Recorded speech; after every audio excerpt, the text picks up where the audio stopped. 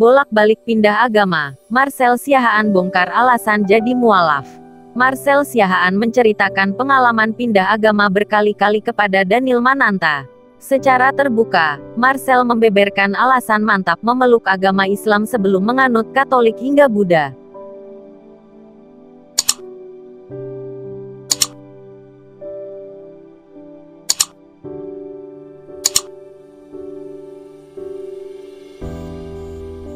Setelah menjadi mualaf, Marcel Siahaan menggambarkan sosok Allah SWT yang menjadi Tuhannya.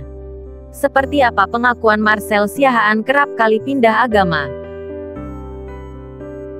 Perjalanan spiritual Marcel Siahaan cukup panjang. Ia terlahir sebagai pemeluk agama Katolik, lalu pindah agama ke Buddha, dan kemudian mantap menjadi seorang Muslim. Marcel Siahaan mengaku tidak ingin merasa takut untuk mencari cara untuk khusyuk dengan Tuhan. Kenapa perjalanan gua seperti ini? Karena gua gak mau merasa takut. Gua pengen terus mencari cara menjembatani gimana caranya gua benar-benar bisa husyuk. Bisa benar-benar intim dengan Sang Halik. Dan akhirnya itu yang pengin gua dapetin, kata Marcel Siahaan dilansir dari YouTube Daniel Mananta Network yang diunggah pada tanggal 31 Maret tahun 2021. Saat masih kecil, Marcel Siahaan bahkan senang menonton semua ajaran agama yang disiarkan di televisi. Ia merasa nyaman dengan gemar menonton semua ajaran agama.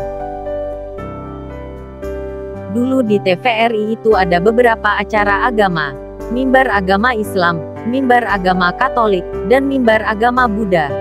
Waktu dulu kan ada, Hindu sama kepercayaan kepada Tuhan Yang Maha Esa juga ada. Nah gua penggemar acara itu. Gua nontonin itu semua, sambung penyanyi berusia 43 tahun itu. Kemudian, Marcel Siahaan mengungkapkan alasannya menjadi seorang muslim. Pasca menikah dengan Rima Melati Adams dan menikah tahun 2009, Marcel belum memeluk agama Islam. Namun sang istri kerap kali menunjukkan caranya beribadah hingga mengajaknya puasa Ramadan. Gua bertemu Rima. Rima menunjukkan cara dia beribadah dengan caranya sendiri. Dia muslim. Rima kasih tahu keeratan keluarga Islamnya. Gua nyaman-nyaman aja. Makan bareng. Sahur tetap ikut, ungkap Marcel Siahaan. Saat masih agnostik, Marcel Siahaan sering duduk di samping kerabatnya yang melaksanakan ibadah salat. Setelah menjadi mualaf, Marcel mengaku sangat nyaman dan senang berada di fase ini. Gue nyaman, gue senang, gue yakin bahwa segala sesuatu harus ada titiknya. Itu aja, dan gue merasa bisa berbuat banyak hal. Menjadikan diri gue sesuatu yang berguna bagi banyak orang. Jadi bukan hanya pencapaian spiritual buat diri gue, tapi pencapaian spiritual eksternal. Jadi buat anak dan istri gue juga, kata pelantun lagu takkan terganti tersebut. Terakhir, Marcel Siahaan disinggung mengenai Allah SWT sebagai Tuhannya.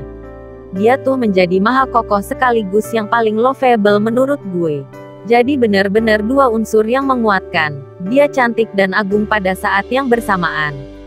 Dia Jamal, elok, dan Jalal, mulia, dalam saat bersamaan. Itu terngiang-ngiang, tutup Marcel Siahaan mengenai perasaannya setelah masuk agama Islam.